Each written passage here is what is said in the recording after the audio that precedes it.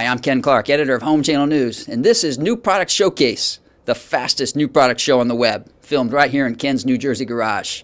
We have some new pegboard on display today, but we're here to talk about new products, and we're starting right now.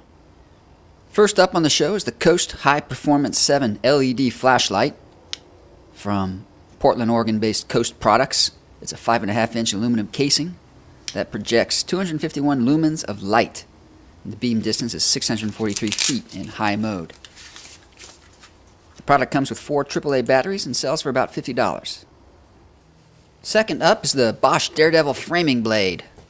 This 7 1 quarter inch blade shown here sells for about $10. Its motto is Starts Sharper, Stays Sharper, thanks to micrograin carbide teeth that resist impact damage. Say hello to the Johnny Jolter. The Johnny Jolter professional plunger draws water into its large chamber. Then the plunger arm can work its magic to clear toilets. It has three simple steps. One push, no mess, toilet clear. The product sells for about $30. Here's the Irwin torpedo level from Irwin's 250 series. This magnetic torpedo level has a, has a cutaway section along the edge that allows a clear view into the vial. This 9-inch tool sells for about $25. It includes a button that allows for an easy reading for a quarter inch per foot drainage inclines.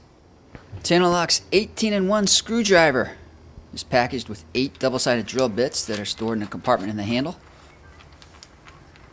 The Code Blue 18 in 1 with this distinctive red and Channellock blue handle sells for about $19.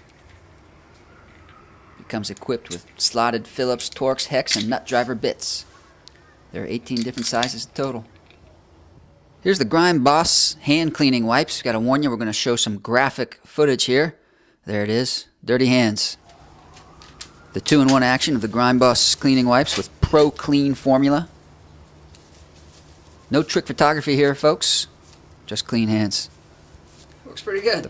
A package of 10 10 packs sells for about $20. Thanks for watching New Product Showcase. For more news and analysis, visit homechannelnews.com.